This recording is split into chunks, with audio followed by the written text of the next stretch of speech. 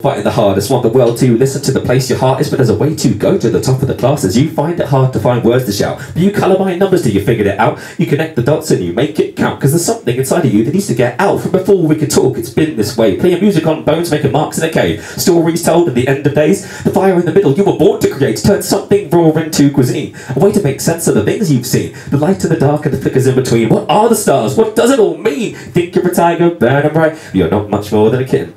Well, don't tell me about the things you might write. Just show me what the fuck you've written. Lying there awake at night searching for what is missing. Need just one thing before you start. There's maintain the desperation to make art. So you want to be an artist. You want to go to the parties, you want to meet the people, and you want to get plastered. Don't know where you're going, but you'll get there fastest. Cut to the core like a sea-bin party. Want to join your brothers in the art collective. Want to bless the world with your perspective. Want to be admired. You want to be respected. But so far it seems you've been rejected. Why's it got to be so damn competitive? Oh, maybe a scaffold, but it's meant to be a sedative. You've got the gift, but it's all relative. It's all been said, and it's getting repetitive because everyone's a struggling artist these days. Everyone and their mum's got an Instagram page all of the love and the passion and the rage. Nobody survives unless they get paid. Think you're a tiger, burning bright, but you're not much more than a kitten. But don't tell me about the things you might bite. Just show me what the fuck you've written. Lying there awake at night, searching for what is missing. Need more than that if you're gonna last. Maintain the desperation to make art.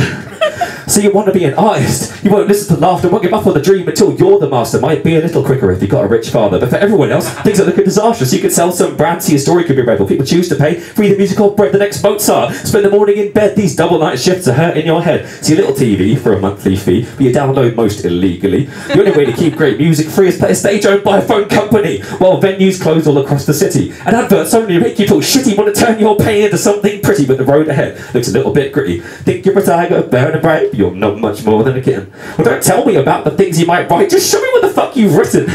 Lying there awake at night, searching for what is missing. When the sky outside is getting dark, maintain your desperation to make art.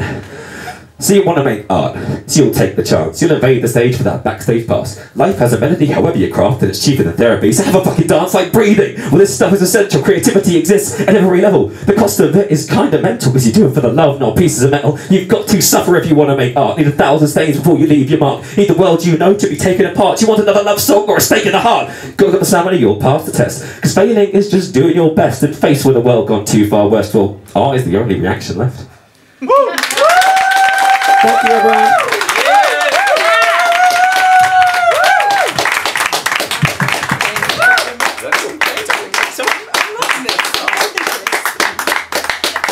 Thank you, thank you, thank you very much, Bertram. Um, I know there are some artists in the audience. I have to say I felt that in my chest.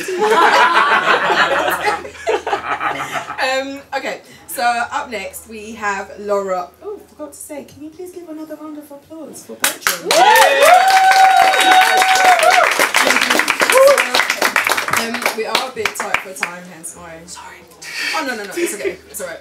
Um, so up next we have Laura McMahon, who is originally from Australia and um, she got her first credit as being the finalist in a New York Act of the Year, the Stand Up Club.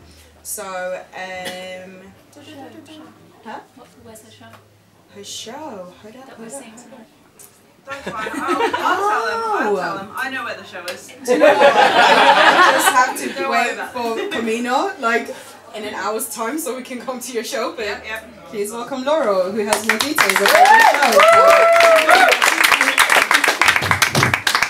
All right, guys, how we doing? Yeah. Good, good, good. I won't keep you long. I know the show's almost.